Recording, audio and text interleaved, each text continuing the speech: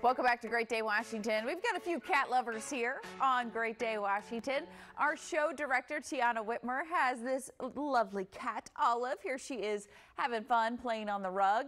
And then there's my handsome boy, Benny. Look at him. If you are a cat lover, I just love him, as we all do. We love our pets. You probably know that they tend to have their own feline language, though.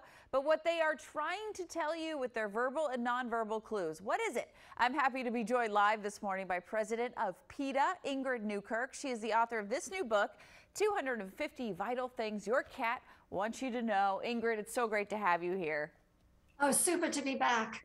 All right, we all sometimes wonder what our pets are doing, right? So why did you focus on the cats? Why did this handbook need to come out for all of us?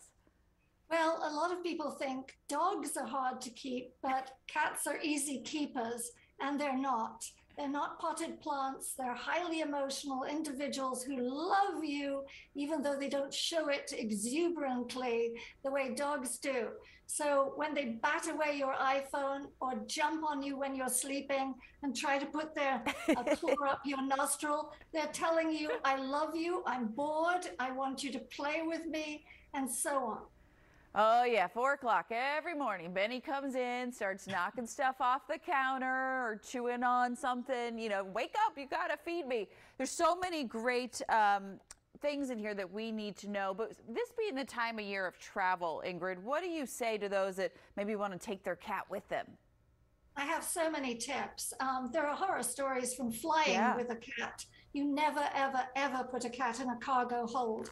Luggage shifts, temperatures fluctuate. It can be a disaster, and you may never see your cat again. Um, if you're leaving your cat at home, if you do fly, fly the cat under the seat. Make sure she's microchipped, she's wearing a harness. If you do choose to leave your cat at home, don't put her in the vets. That's frightening to them. They can pick up a disease. Eh, leave them at home, but choose a babysitter, a cat sitter, Yeah. the way a French chef chooses vegetables without the squeezing part. Be very, very picky. Oh yes, they they will let you know that they are sad that you are leaving. That is for sure.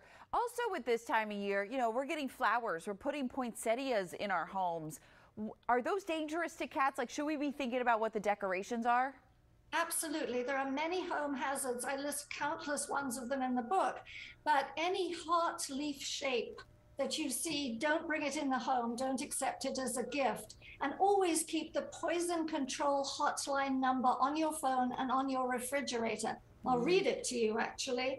Um, it's 855 764 7661 and um, that that's invaluable but look at other hazards too Yeah. never close the dryer do- door and push that start switch unless you've checked inside you never want that thump thump thump to not be a pair of sneakers but to be your cat and they love to hide inside dryers What did you learn? Yeah, that's that's a good thing to remember for sure. Um, what did you learn kind of as you were putting these tips together? Anything that really surprised you about cats and maybe the way they communicate?